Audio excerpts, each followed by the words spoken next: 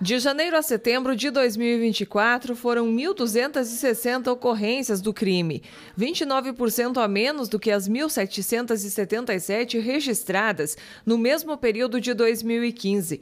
A queda também pode ser percebida na comparação com o último ano, de 7,6%, relativa a 1.364 mortes do mesmo período de 2023. Em 161 municípios do estado, não foram registrados homicídios dolosos no período.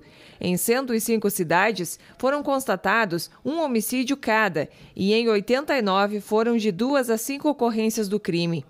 A maior queda percentual até o momento foi em Quedas do Iguaçu, que registrou 15 ocorrências do crime no ano anterior e duas neste ano, seguida por Umuarama, com 17 no ano anterior para 4 neste ano. Segundo os órgãos de segurança do Paraná, a redução é significativa após o lançamento da Operação Cidade Segura no começo do ano e será mantida nos municípios com maior incidência de crimes, assegurando uma atuação constante em todos os 399 municípios do Paraná.